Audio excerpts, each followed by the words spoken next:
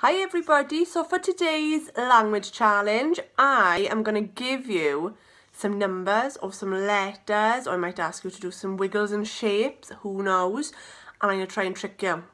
I'm going to see if you can do them on your own, okay?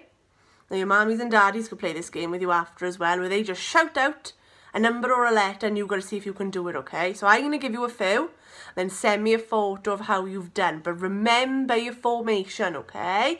That's got to be done the right way, right? So the first one I'm going to give you is a Tommy 2. Can you do Tommy 2? I'll give you a help with this one.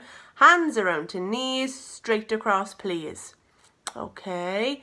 Now maybe a tap, tap, tap. Okay, so down the tower and across the tower. See if you can do that one. Now, I'm no more clues off me, okay? I'm not helping anymore. Can you do some wiggles this time? Can you do some wiggles? I'm sure you can. What about a s?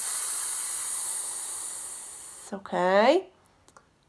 Ooh, let me have a think. What about a Fiona 5?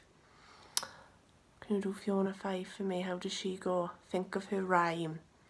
Right, what about a... Oh, easy peasy one. King 1 sure everyone can do a king one. Ooh, now, how about ah, ah, ah, ah, ah, ah, ants on your arm. Who can do ah, ah, ah for me? Ooh, let me think. Oh, no, this one's a tricky one. Quite a few of you get confused on this one. Eh, eh, eh. I'll help you with this one. You've got to take off the top and scoop out the egg, okay? That one's a bit tricky. Uh, I'm going to give you one more. I'm going to give you mm, okay, mm, with your arms out.